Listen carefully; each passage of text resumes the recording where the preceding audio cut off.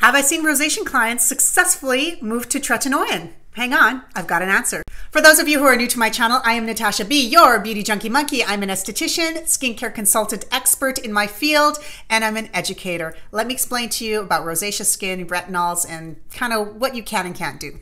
Now, typically, if you have rosacea, you get the pinkening of the skin, you get flares up very quickly. Uh, usually, it's due to any type of caffeine or alcohol consumption. Heat can also do it for you. And most people, they just kind of content with that type of rosacea. But then there's another form of rosacea where they get these really bad breakouts, but they've uh, actually identified that there might be some sort of like, bacterial bug in there.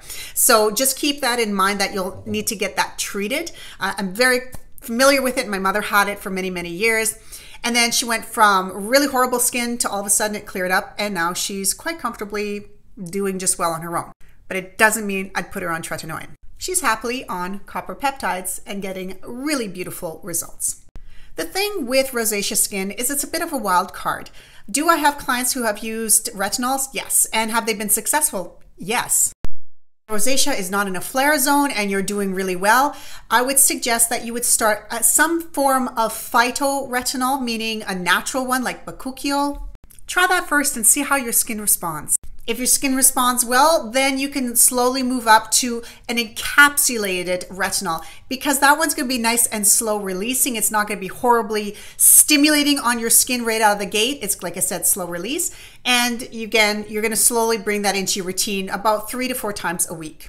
If your skin's tolerant and it's doing well, then you can start uh, using it every single day of the week, with the exception of the exfoliant. You would never use an exfoliant then do retinol the same night. That would be a hell no. And then if your skin's tolerating there, then you can go up to a retinol, a retinaldehyde, which is your next step up, and slowly see how your skin continues to climatize to it. Rosacea isn't a one size fits all. So remember, you have options. And if you're like, I don't even want to go that direction, no worries. Get yourself some really good copper peptides. Biossance has a glorious one that I absolutely adore. Great results, and it still stimulates collagen and elastin. So I hope this information helped. Like and follow if you want more skincare education.